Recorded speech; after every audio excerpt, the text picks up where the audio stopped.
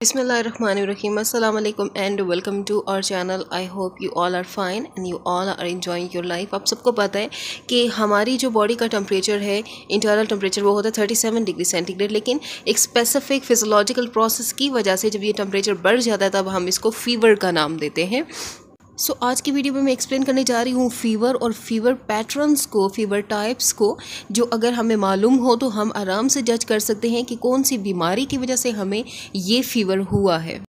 Total five fever types और में जो फ़र्स्ट टाइप है, जो सबसे ज़्यादा इंपॉर्टेंट है, वो है इंटरमीडियंट फीवर अब ये क्या फीवर का पैटर्न होता है? कि इसमें आपको जो बुखार होगा, काफ़ी घंटों तक के लिए ज़्यादा रहेगा एलिवेटेड टेम्परेचर रहेगा और चंद घंटों के बाद वो कम हो जाएगा और नेक्स्ट डे भी दोबारा से यही प्रोसेस रिपीट होगा। आपको इस ग्राफ में ये पैटर्न नज़र आ रहा है, जिसमें पहले टेम्परेचर चंद घंटों के लिए ज़्यादा रहा और उसके बाद वो टेम्परेचर कम हो गया था। अब एग्ज़ाम इंटरमीडियंट फीवर की जो सबसे कॉमन एग्ज़ाम्पल है, वो है मलेरिया मलेरिया मलेरिया आप सबको पता है एनाफिलस फीमेल की व मॉस्किटो की वजह से होता है तो वो जो टेम्परेचर होगा, हम उसको इंटरमीडियट फीवर का नाम देते हैं। इस पैटर्न को ये नाम देते हैं, क्योंकि चंद घंटों के लिए टेम्परेचर ज़्यादा रहेगा और चंद घंटों के बाद वो कम हो जाएगा। ऐसे लगेगा कि अब हमारा बुखार ख़त्म हो चुका है।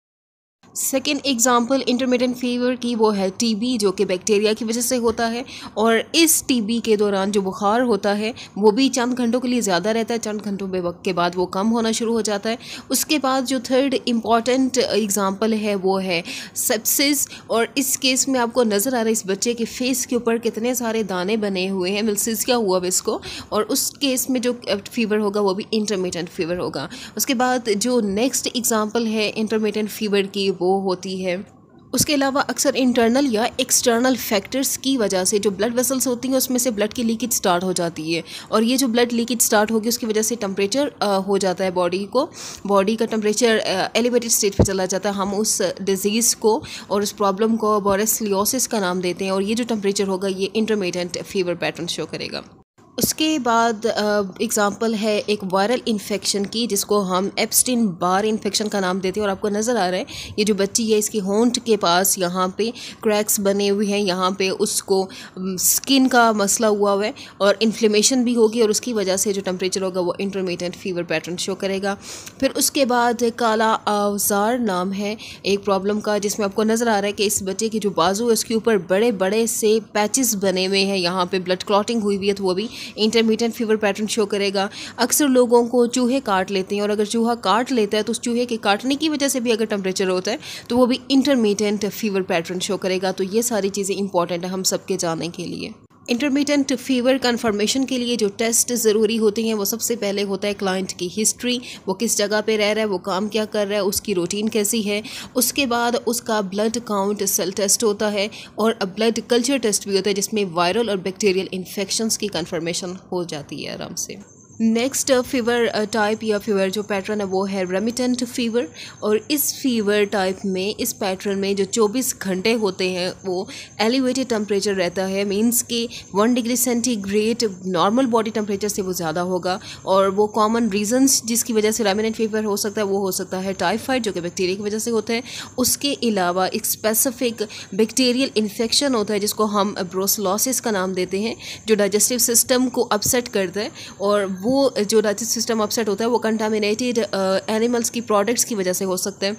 उसके अलावा रिक्टिस एक ख़ास तरह की रिक्ट्स होती हैं, जिसके काटने की वजह से कीड़ी होती है, उसके काटने की वजह से टेम्परेचर हो सकता है तो वो भी रेमिटेंट फीवर होता है। और उसके अलावा अगर इंजरी की वजह से और जब पस प्रोड्यूस हो रही होती है इन्फ्लेमेशन होती है इंटरनल तब जो फीवर होता है, वो भी रेमिटेंट फीवर होता है। जो थर्ड इंपॉर्टेंट फीवर पैटर्न है, या जो फीवर टाइप है, वो है कॉन्टीन्यूस फीवर और इसको हम सस्टेंड फीवर टाइप का नाम देते हैं, क्योंकि काफ़ी दिनों तक के लिए बॉडी टेम्परेचर एलिवेटेड रहता है वो ज़्यादा रहता है और नॉर्मल बॉडी टेम्परेचर से जब ज़्यादा होता है तो उसके स्पेसिफिक रीजंस होते हैं जिसमें सबसे इंपॉर्टेंट रीज़न कॉन्टीन्यूस फीवर का वो होता है एक्यूट बैक्टीरियल मैनिनगेटस जो कि इन्फ्लेमेशन होती है हमारे ब्रेन के रीजन्स की बैक्टीरियल इन्फेक्शन की वजह से तो उसकी वजह से टेम्परेचर हो, हो जाता है।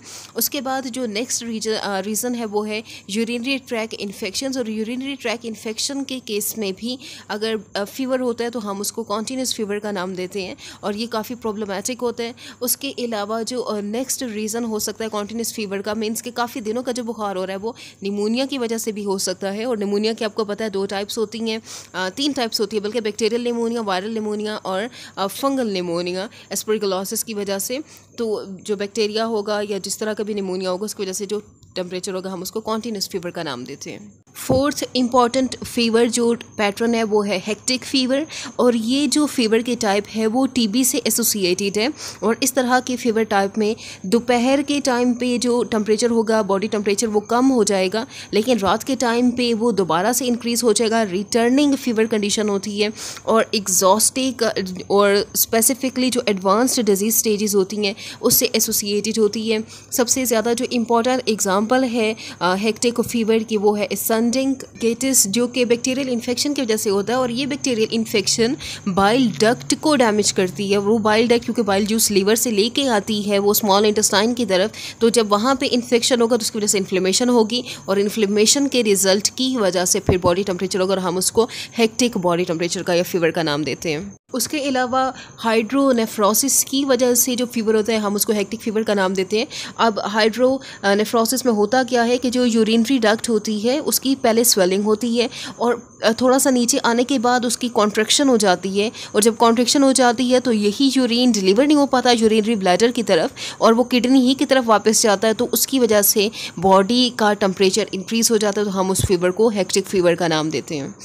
उसके अलावा पायोजेनिक इन्फेक्शंस जो कि बैक्टीरिया और वायरस की वजह से हो सकते हैं और ऐसे बैक्टीरियल इन्फेक्शंस जो कि रेजिस्टेंट हो चुके हैं एंटीबायोटिक्स के अगेंस्ट। उस तरह की जो इन्फेक्शन होती है, उसमें पस प्रोड्यूस होती है इन्फ्लेमेशन होती है और इस इन्फ्लेमेशन के रिज़ल्ट में जो बॉडी टेम्परेचर इंक्रीज होगा, हम उसको हेक्टिक फीवर का नाम देते हैं। उसके बाद जो हमारी फिफ्थ लास्ट टाइप है, वो रिलैप्सिंग फीवर की टाइप है और इस तरह की फीवर टाइप में जो टेम्परेचर होता है बॉडी का वन ज़ीरो थ्री फॉरहाइट से ज़्यादा रहता है और काफ़ी अरसे तक ये टेम्परेचर रहता है। मीन्स के सिक्स डेज़ से लेके टू वीक्स तक ये टेम्परेचर की कंडीशन रहती है एलिवेटेड टेम्परेचर रहता है। और इसमें जो सबसे इंपॉर्टेंट रीज़न है, वो टिक बाइट्स है। कुछ ऐसी खास खास तरह की कीड़ियाँ होती हैं जो जंगल में काम करती है, जो खेतों में काम करते हैं। अगर उनको वो काट लें तो उसकी वजह से उनका बॉडी का टेम्परेचर इंक्रीज़ हो जाता है।